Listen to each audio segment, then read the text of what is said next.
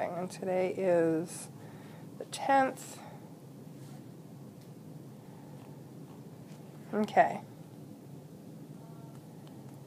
So, parasite can harm you. What else do you know about parasites? You know, feeds off of a host.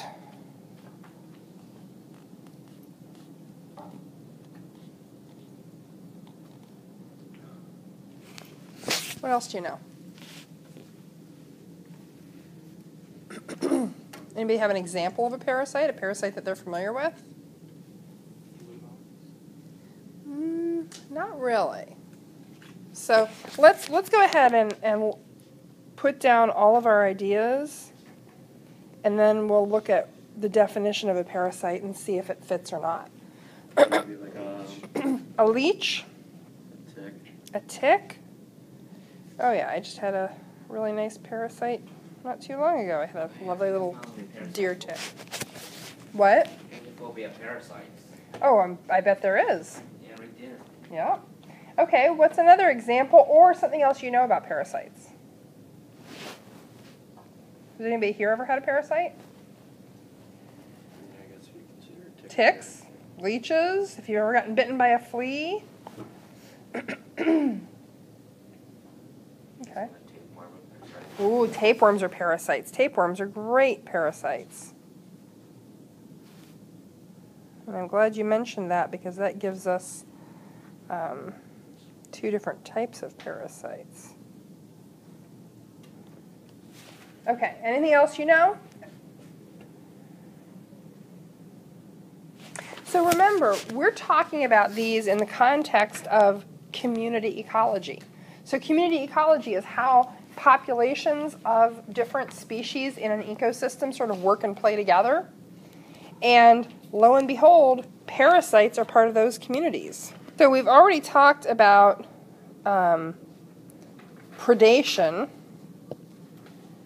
And today we're going to start to talk about parasitism. So, as a relationship between populations of different species in a community, you have a relationship with your parasites. They want something from you, you don't want them. okay. So, in a parasitic relationship, one species is definitely harmed in some way. And I say harmed, but not killed. And the other species benefits, they gain something from the relationship. An individual of one species, the parasite, feeds on an individual of another species, which is the host. Okay. So the one one individual is harmed, the other spe- but not killed typically, not at least directly or not quickly, um, and the other species benefits. So you named some examples here. Um, leeches. Who here has ever had a leech on their body? Okay. If you haven't, you need to go spend more time stomping around in shallow, muddy water. Nothing quite like picking leeches off your ankles after you've been wading through whatever. Um, some people's idea of fun. Okay, so in that relationship where the leech is attached to your ankle, it's sucking blood. Are you being harmed? Yeah, a tiny little bit. I mean, what does a leech want from you? Blood. And you can, you can, oh, shoot. Okay. So is a leech going to kill you? No. It's probably going to freak you out. Who shrieks when they see a leech? I did the first couple times I got leeches. I don't anymore. I just go, yeah, got a leech. What about ticks? Who's had a tick? Okay. Tick going to kill you? Good. good. Well, that's a how? If you get um, that one disease. Lyme disease won't typically kill you, it'll make you real sick. Um, can the tick itself, so let's separate something. I'm really glad you brought that up. Parasites don't always harm you directly. So, will the tick itself kill you? No. Can one little tick suck out enough blood to endanger your life? No. No. Can a tick give you a disease? That can harm you in some way. Yes. So that's a separate issue because that disease organism is a bacteria. It's a different organism. Okay. All right. So typically these parasites don't kill you. They just take a little bit from you. What about a tapeworm? Somebody mentioned tapeworm. What do tapeworms do? When I was a kid, there was a guy my dad worked with, and Hal was real tall and real skinny. And there was some there was some place they went near work for lunch. Sometimes it was an all-you-can-eat buffet, and they used to say that Hal could drive that place right out of business because the man could eat like no one you have ever seen. I mean, he he could eat like a teenage boy, you know, who was running three sports. He just could shovel food into his body, and he never gained a pound. He was still like six foot two and skinny, long, tall guy. And they used to joke Hal's got to have a tapeworm. There's no way. He's got to have a tapeworm. He didn't. He just had that kind of metabolism. What do tapeworms do? Yeah, they live in your gut. Um, and they have little hooks. They attach to the wall of your intestine. And they take nutrients away from you. Now, they actually, it's a misnomer to say that like you could be really skinny because you had a tapeworm and you ate a lot, but the tapeworm got the calories. They don't get the calories. they just get the nutrients. So having a tapeworm will not magically, you know, allow you to eat anything you want, nothing but ice cream sundaes all day, and never gain a pound. They'll just take nutrients and leave you malnourished. So tapeworms are not the answer for like wrestlers or anything. Um, I can see the wheels turning. But okay, so we've got a relationship where you've got somebody feeding on you but not killing you, and somebody who's doing the feeding, who's being harmed, but they're not being killed. Okay, here are some lovely pictures of parasites. Hmm. Unlike predators who kill their prey, parasites usually don't kill their host. Parasites usually do not kill their host, or at least not intentionally.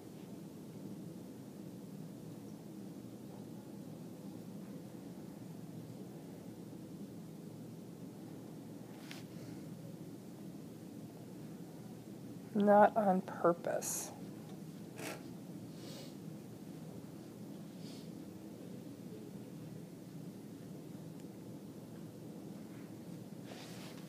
Why don't parasites usually kill their hosts? Yeah, so parasites don't really have an interest in killing their host, at least not quickly, because the longer that host stays alive, the longer they can take nutrients from them, the longer they can take something from them. So these little guys are pinworms. We'll talk a lot about them.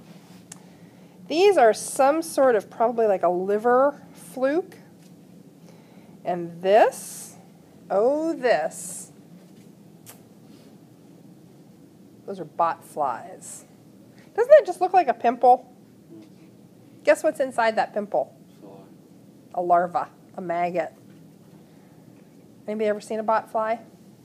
They're pretty common on cows and horses. Um, and when I used to have a lot of barn cats, every you know every year I'd get one cat who would have a bot. So the bot is a fly that comes along. It lands on an animal. It can land on a human. It can land on a cow or a horse or a cat or a dog. And it lays an egg under their skin. So you know how a mosquito can stick its little proboscis, its its little sort of syringe into your body and pull blood out. Bot flies have a little syringe that they use to inject their egg under the surface of your skin. I, I will warn you. Today will give some of you nightmares. It's really, I love parasitism. I think it's fascinating. Um, they lay the eggs under your skin, and then those eggs hatch into little maggoty things, little worms. And those little worms live in a little pocket under your skin or under the skin of the cat or the horse or the cow or whatever. And then when they're mature, because they're getting nutrients from you and they're growing up, and basically you are their little cocoon. And when they're done growing, they pop out of your skin on a raft of pus. Sorry. It was worse last year when I had this class, um, fifth period split by lunch. We had this class 5A and 5C, and they went to lunch in the middle. They claimed I ruined their lunch often. I don't know what they were talking about. So, anyway, um, you can usually tell, like, if a cat's got a bot or something, sometimes called a warble, because you'll look at the back, and for some reason, mine always got it on the neck. You would look at the back of the neck, you'd smell something. It's a stinky cat. It smells kind of like rotten. Ugh. And you would look, and sure enough, you'd have one cat that had a perfect little hole. A little bit of, I mean, you can't really see like a zit looking thing on a cat because they're covered in fur. But you would see like a little raised area, a little swollen area, and then there was very often be a little hole in the middle of it. That's weird. First time I ever encountered it. I don't know what the heck that is. So I picked the cat up and I sniffed. Oh my gosh. It's like stinky, rotten, pussy smelling. Ugh. And then I squeezed it, and a little head popped out. Oh, oh, okay. And then I knew what I was dealing with. So I took hydrogen peroxide and a little syringe with no needle, kind that you use to give like medicine to dogs or little kids. I filled it up with hydrogen peroxide and I shot it into the hole. And out on a wave of bubbles came a whole bunch of pus and one little worm. And that was it, and it healed up. It worked real nicely. So if you ever get a bot on you or a cat or a dog or anything else, remember if you inject hydrogen peroxide right into the hole, it'll flush everything out, and then you can just put some antibiotic cream on it, and it'll heal right up, I promise. We're actually going to watch a YouTube video on bot fly later. Um, so, parasites don't want to kill you. You're their meal ticket. They want to keep you alive as long as possible. We have two major categories of parasites. We have ecto parasites who can live on their host and don't ever go inside the host's body, and these would be ectoparasites. Ecto means outside of. So ectoparasites live on the outside. And we've got fleas and ticks, leeches, lice. If anybody's ever been through a lice scare, um, when I was a elementary student, we had a few years where there was a lice scare every winter. And back then, in elementaries, you just had a coat room and everybody threw their hats up in a pile on the shelf. You know, hung your little. I'm itching just thinking about it. And um, so once one kid has lice, every kid gets lice. I never got them, amazingly enough, but a lot of kids did. And so they'd march all the little first graders down to the nurse's office, and the nurse would sit there and comb through your hair looking for lice. Have you guys been through this? No? Yeah? Okay. And if you got them, you had to go home, and I think they washed your hair with kerosene or something equally repulsive. Yeah, it was no laughing matter. And you were out of school until you were certified clear. Like, you couldn't come back until the nurse said, yep, we're done. Um, yeah. Yeah, and here's the thing. Up until fairly recently in human history, like the last 100 years, 150 years, it was probably more common for people to have something like lice or fleas living on or with them than not. So, I mean, do you know why? You know what a lap dog is? It's a little tiny dog that can sit on your lap. Um, you know, little miniature poodles and Yorkshire Terriers and all those kind of things. Those are lap dogs. Do you know? And, and where did lap dogs originate? Do you know? They were the dogs of royalty. Because a couple hundred years ago, who had time to sit around with a dog on their lap? No one but the king and queen. Everybody else was too busy working. Like working hard, working from sun up to sundown, you know, harvesting food, building things. So who has time to sit around? Royalty. Why does royalty want a dog sitting on their lap? Sure that they can, I guess. Well, that's one reason, but the other reason is because the dog is more attracted to the fleas than the person is. And so the dog tends to be a magnet for the fleas, and they keep the fleas off of you. Clever. Very clever. Um, so ectoparasites live on the outside of the body. I can imagine that this would be a great recall quiz question tomorrow. Thank you. So yes, parasites can also live inside their hosts. These are endoparasites. Tapeworms, bac- some bacteria are considered parasites. Roundworms, pinworms, which we're going to talk about, these are pinworms, and so many more. And I know a lot of you either hunt or fish or both, yes? Okay. You ever find a worm inside something that you were like field dressing? It's not uncommon. Um, a wormhole a couple times. a what? A worm? Okay, you found bots.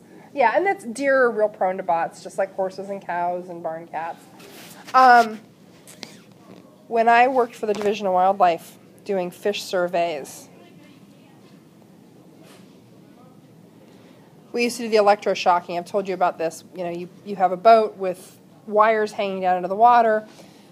You create an electrical field. The fish hit the field, and they're paralyzed. And you can scoop them up and you know measure them, weigh them, identify them, take a scale sample. I told you about electrofishing, right? Well, we're electrofishing, and we were actually just testing out the equipment. We were on Walborn Reservoir, which is over by Alliance, and we pull up this enormous, beautiful smallmouth bass. And as it comes up out of the water, I see that there's something hanging down from its belly. And first I thought it was poop. I mean, you've all seen fish poop, like in a goldfish tank, I hope. It was a like probably one foot long tapeworm hanging out of its waist opening. So fish get tapeworms. Um, and there's a, a fish with tapeworms. So, you know, look for that when you are cleaning your catch or cleaning your kill. Now, a lot of tapeworms, a lot of parasites really are host specific. So, fish tapeworms may not be able to live in a human. Dog and cat tapeworms very often can live in humans. So, there are some parasites that are really host specific and can only live on one kind of animal or one kind of plant. There are others that are pretty flexible. How would we think about that in terms of niche? So, a parasite that can only live on one species would be a what? Specialist. Yeah. You can have a specialist parasite. Um, what about a parasite that can live on any species it comes in contact with? Generalist. So if you think about leeches, I remember as a kid pulling a turtle out of a pond, and when you looked at its poor little arms and legs, its limbs where they were sticking out of the shell, all along its limbs, it was just covered in leeches. I spent, you know, probably 45 minutes sitting there picking leeches off this poor little turtle. It was a little teeny turtle. They could have taken enough blood to actually do it some damage. Um, if I had stepped in the water, those leeches would have taken to me. If a dog had stepped in the water, they would have attached to the dog. They didn't care what they attached to, they just wanted blood. And they could drink reptile blood, they could drink mammal blood. Um, they probably couldn't have drunk fish blood. The fish's scales protect them pretty well, I think, against leeches. Um, that's an interesting question. So, yeah, there, there are species that are very, very, very host specific, and those are specialists. Let's write this down. So when you have a parasite that's host specific, that can only live on one kind of host, they are specialists. Parasites who can prey on any host, like the leeches we talked about, are generalists. Which one of those is at more risk of extinction? Specialist? Oh yeah. If you're a specialist and you only the only thing you can eat is blood from blue-footed wombats. If the blue-footed wombat goes extinct, guess what happens to you? You go extinct. You're done. So, again, being a generalist is a really good strategy. Generalists tend to do better. Here's the thing parasitic relationships drive evolution. Guess why you have an immune system?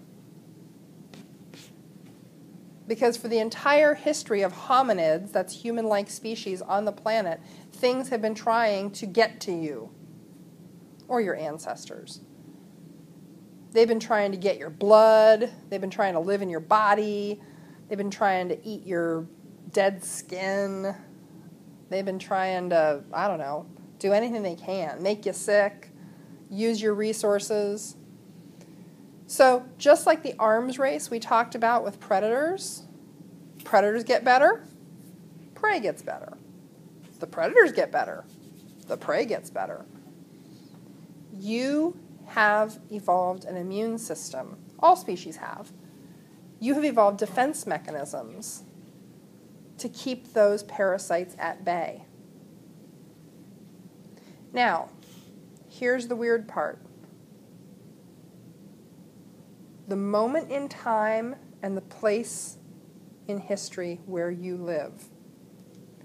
I want you to understand how bizarre your lifestyle is in the span of human history. Do you realize how weird your life is? Do you realize how unusual your life is? Do you realize how, in the last 50,000 years of human history, pretty much no one has ever lived like you are living before? Don't have to worry about all. Oh my gosh. Yeah. Yeah. I mean, you're living in this bizarre world. There are more calories available to you than you could ever use.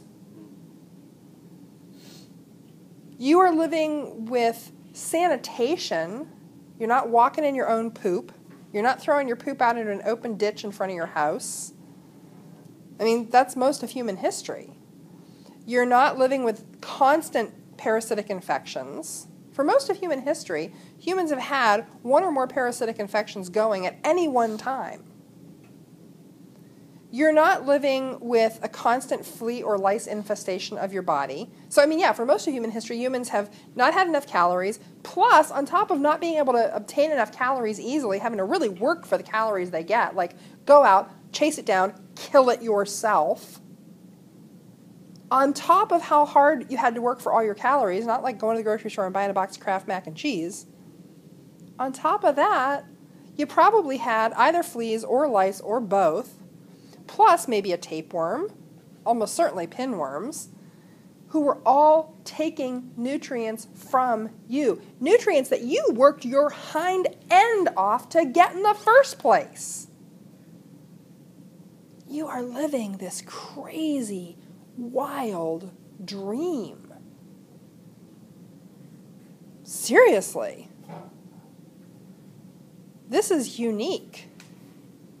Now, now that we've talked about that, let's talk about some parasites that do commonly affect humans, such as us, who are living this weird, modern, Western industrial dream.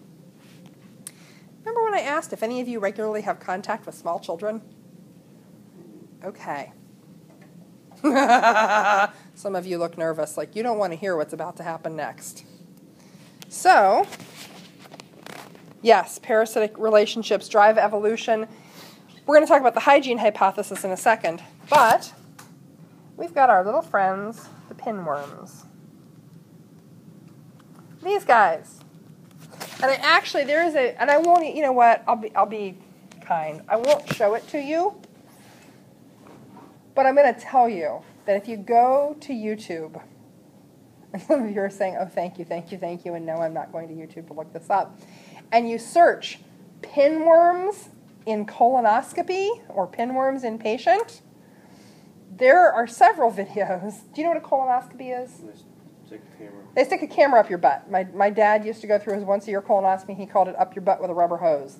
Um, you drink this horrible laxative milkshake for two days, you clean out everything in your body, your gut is supposed to be pretty much empty, and they go shove a camera up your butt. And they're looking for cancer and precancerous growths and stuff. It's for people over 40, it's just a normal part of the joys of aging. Um, there are several videos on YouTube of patients who show up for their colonoscopy. I mean, that's what that image is from. And on the video screen, you can see the pinworms because they live in the lower um, intestine. They live in the in the rectum actually. And pinworms are really, I mean, it's a great evolutionary strategy. So they, they estimate that about 80% of the planet, of humans on the planet, are infected with pinworms at any one time. Now, in modern Western industrialized nations with access to you know, flush toilets and clean water and all that stuff, you're not walking through people's feces on a daily basis, that number is a lot lower.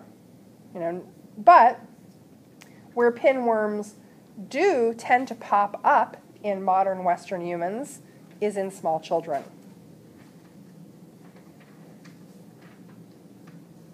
Because small children don't have quite the same manners about hygiene that we do. So pinworms are really, this is fantastic evolutionary strategy. Pinworms live in the rectum, and the female pinworms, especially at night, come out of the rectum and they dance around. They dance right around the anus. That's the butthole. That's where the poop comes out. And they make it itch. What do you do if something itches? Scratch it. You scratch it. While they're doing their little dance and making the butt itch, they're laying eggs on the surface of the anus and the area around it. When a little kid has an itchy butt, what does a little kid do? You scratch it. They stick their hand in their pants and they scratch it because they're little kids. And, you know, they haven't quite gotten the message that we don't stick our hands down our pants and scratch our bottoms yet. That takes a while to kick in. So when they scratch their itchy butt with the pinworm eggs on the surface of the butt, where do the pinworm eggs end up? On their hands. Under their fingernails. And then you know what they do? They hand you a cookie. And you know where those pinworm eggs are? On the cookie.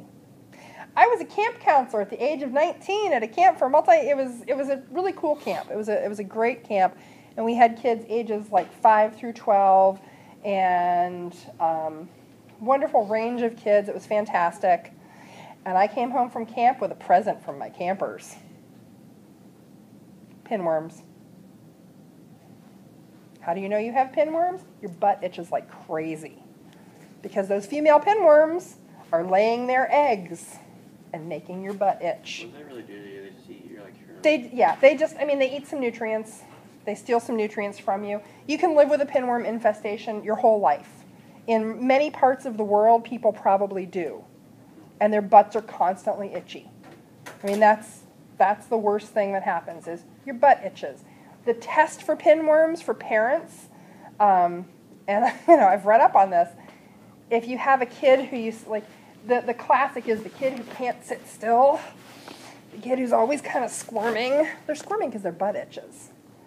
And when you have the little kid who can't sit still, what you do is you wait until they're sound asleep and you go in at night with a flashlight, you pull down the pants or the diaper or whatever, and you shine a light on the butt, and you will actually see the pinworms who've come out of the rectum and are dancing around on the surface of the butt. Are they big enough that you can see? They're about that long. They're about a centimeter long. They're white. Um, you supposed to do to get rid of them? there, there's a medicine called Vermox, and you and what they say is like if you have a child or a sibling or a niece or a nephew who lives with you or somebody who has pinworms, if you're treating the little kid for pinworms, you treat everybody in the family, because the odds are, if your child has pinworms, somebody else in the house has them. And so with the Vermox, it's real easy because it's a single dose. Um, you give them a dose of Vermox. We're talking about pinworms. Here's your check Oh, for your raffle. oh, thank so, you. Okay. Pinworms. Oh yeah, pinworms. So um, you give them a dose of Vermox. What's Rolex? It's an anti-worming agent. We will finish talking about parasites tomorrow, and then you will have a parasite recall quiz. Let's go.